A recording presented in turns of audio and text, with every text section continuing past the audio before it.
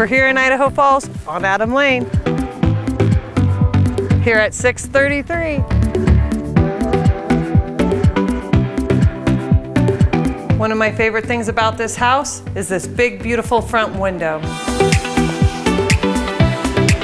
And if you like what you see, click this link below and come take the home movie tour with me.